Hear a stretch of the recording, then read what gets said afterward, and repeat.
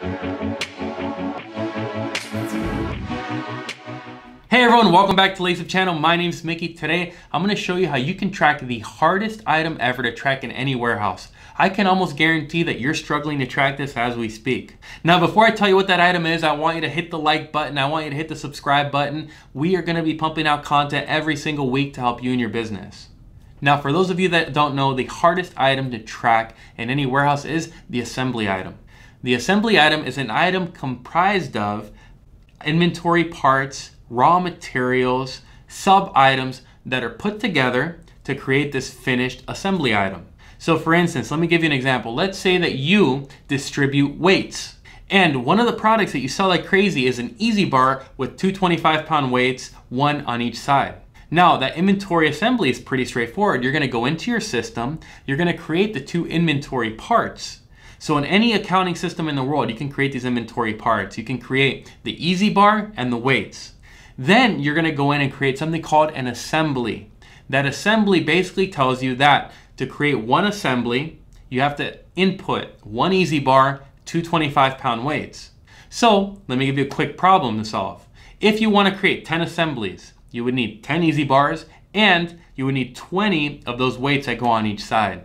So the process is pretty straightforward. As you receive the EZ bars, as you receive the weights, you give entry to those sub items into your warehouse. Now, as you sell product, as orders come in for product, basically you want somebody to go out into the warehouse and put these products together to build that final assembly item.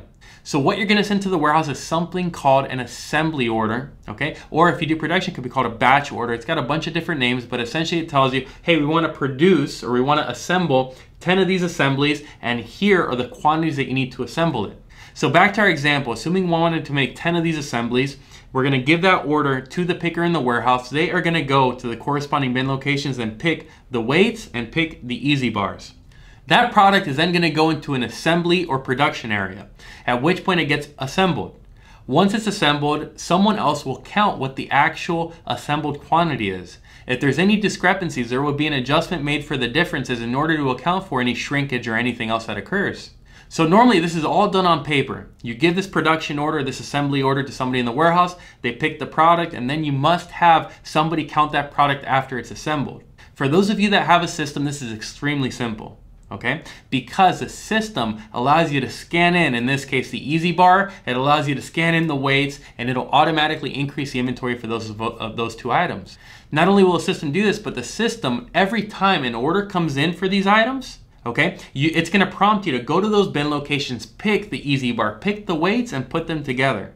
Then there's a process wherein you have to count the finished goods and the system will automatically compute something called yield. Yield essentially takes into account what was consumed during the production of the process and what actually came out at the end of the production or the assembly and did the right amount come out or was there any discrepancies? Because let's say that I brought in 10 EZ bars but I only assembled 9, there is a big problem. There might be some theft in that assembly room.